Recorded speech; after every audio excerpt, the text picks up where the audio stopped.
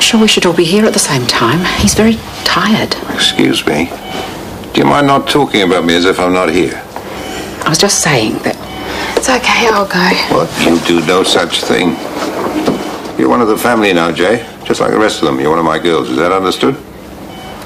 Yeah, you, yes, sir. Good. Ian's right, Jay.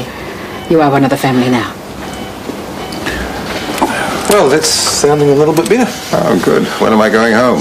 Not anytime soon, I'm afraid. Ah. you need to relax and enjoy the company, I'd say. Oh, by the way, we bowled first, although I'm thinking we were wishing we didn't. What do we need? 302. Oh, hopeless, hopeless. Yes, I would say the boys need some encouragement. Although this does come with a health warning. Make too much noise and I'll get fired. you beauty. This'll do very nicely, thank you. Did you ask Mark to bring the What? radio in? Did you ask Mark to bring the radio in? No, I had no idea. Hey. You didn't have to do that. Oh, well, he loves his cricket. Well, thanks anyway. It's really thoughtful. Mark, what if his lung doesn't clear? Let's just hope that it does. Be straight with me. Well, if it doesn't, then the prognosis is not good.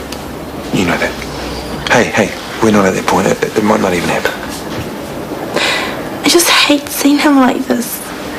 He's so sick. I know.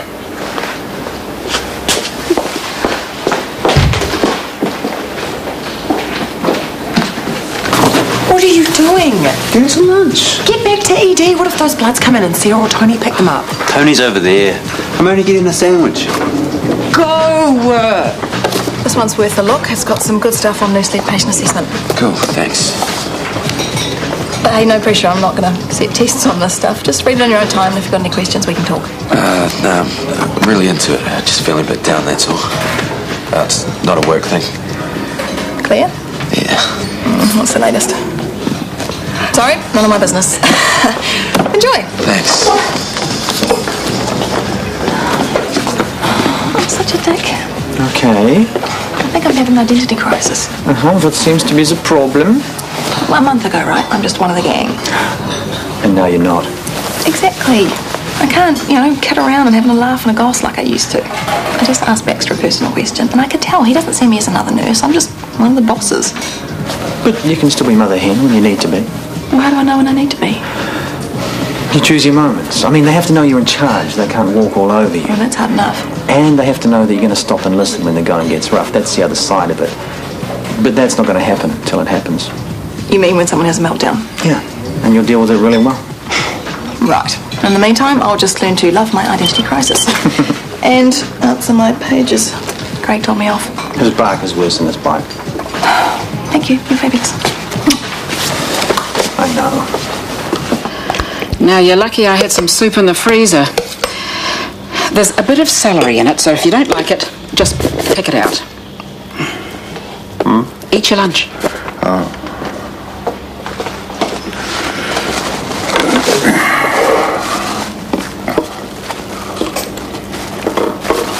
Is this your soup? Hmm, I had some in the freezer. It's lovely.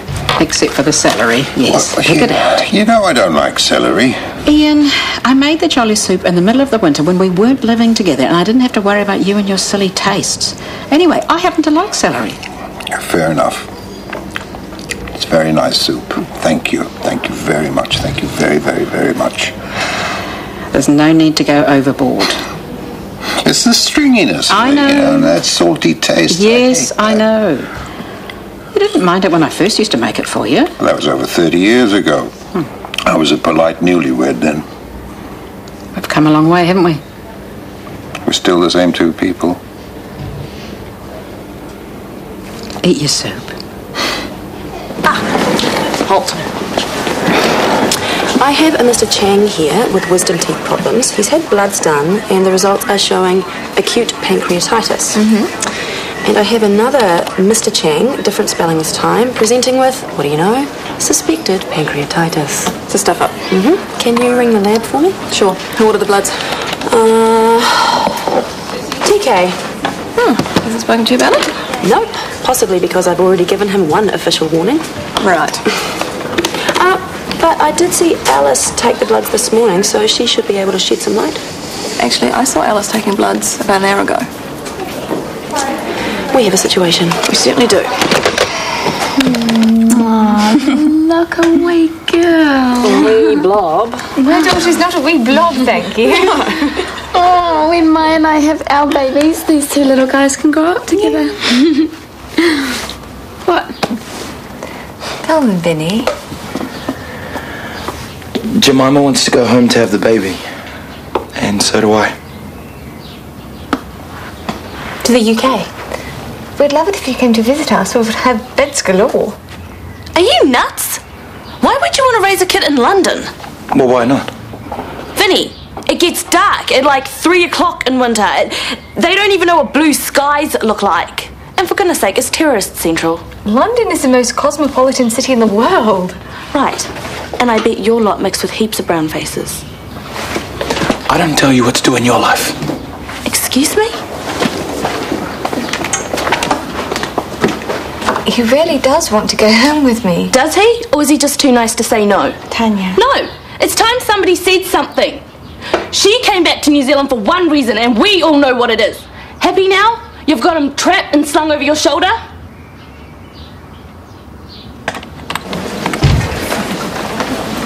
Please tell me it's all sorted. It will be. What do you mean it will be? Just as soon as I've sussed Cambo's next gig. No, get the patient's blood results printed off now. Man, you really know to stress yourself out. Relax, girl. Get off and I'll. Hey, Rostov! You've got a patient waiting. Sorry. Nurse is. Now.